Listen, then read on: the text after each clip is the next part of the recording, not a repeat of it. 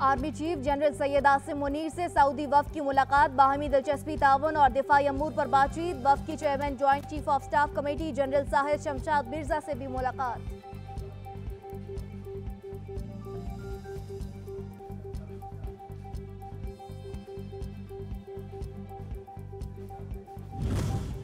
Supreme court additional registrar admin Amir Salim Rana deputy registrar Mohammad Owais, deputy registrar Mohammad Munawar Ali और senior auditor Mohammad Akram की खिदमत। Auditor general Pakistan को वापस, chief justice की मंजूरी से नोटिफिकेशन जारी।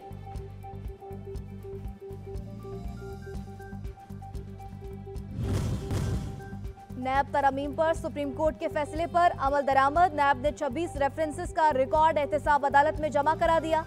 राजा परवेज अशरफ, रुबीना खालिद के समन जारी। एहतसाब ब्यूरो मुकदमात का मजीद रिकॉर्ड आज जमा कराएगा।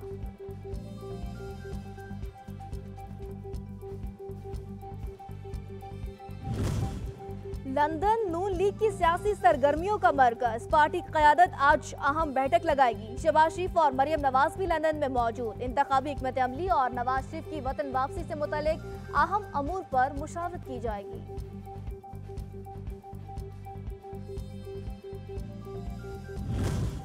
और पीपल्स पार्टी ने सरदार लतीफ खोसा की सेंट्रल एग्जीक्यूटिव कमेटी की रुकनीत मौतल कर दी। सरदार लतीफ खोसा ने मुदत पूरी होने के बावजूद शो कॉज नोटिस का जवाब नहीं दिया।